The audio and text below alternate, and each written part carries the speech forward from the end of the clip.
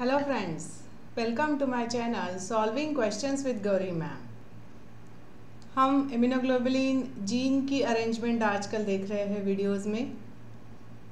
Light chain heavy chain variable region है ना? तो आज के वीडियो में हम देखेंगे rearrangement in light chain DNA ठीक है? लाइट चेन मतलब कप्पा और लैम्डा दोनों आ जाएगा। तो यहाँ देखो फिर से इमेज हमने रखी है।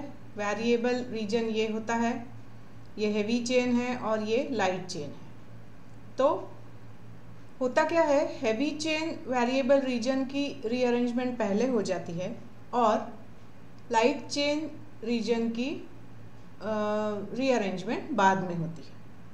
ठीक है?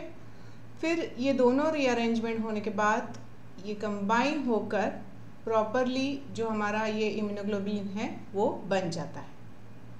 All right so it produces immunocompetent B cell and each cell is committed to produce antibody of particular specificity अभी हम देखेंगे कि लाइट चेन डीएनए की रीअरेंजमेंट किस तरह से होती है।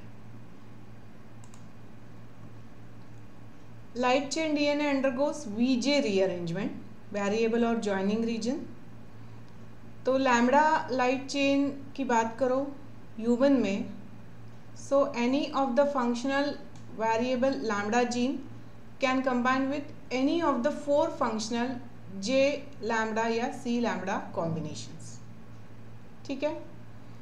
माउस में क्या होता है? V lambda one combine with J lambda one और J lambda three gene segment या फिर वी लैमडा टू को कंबाइन होना है तो फिर वो J lambda two gene segment के साथ कंबाइन होगा।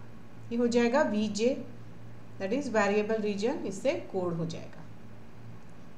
अगर कप्पा लाइट चेन हो तो ह्यूमन और माउस में सिमिलर है ये।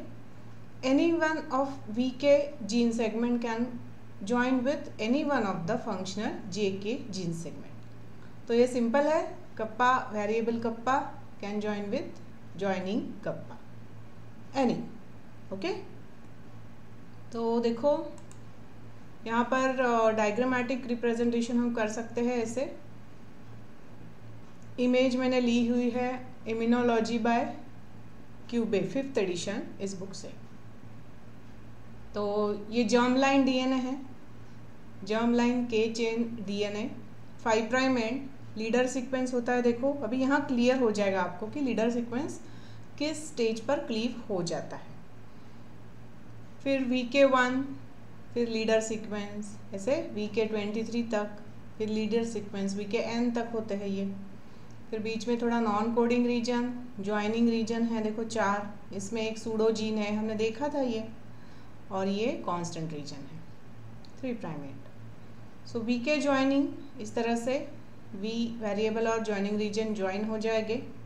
रीअरेंज्ड कप्पा चेन डीएनए इसका ट्रांसक्रिप्शन होने के बाद प्राइमरी आरएनए ट्रांसक्रिप्ट कुछ इस तरह से होगा।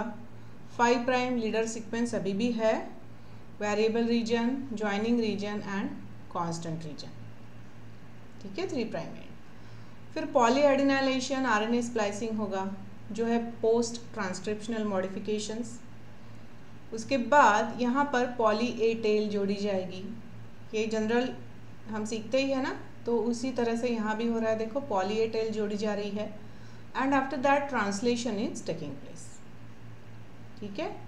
और इसके बाद नेसेंट पॉलीपेप्टाइड से कप्पा लाइट चेन फॉर्म होने में लीडर सीक्वेंस क्लीव हो जाता है और ये कप्पा लाइट चेन अभी फॉर्म हो गई।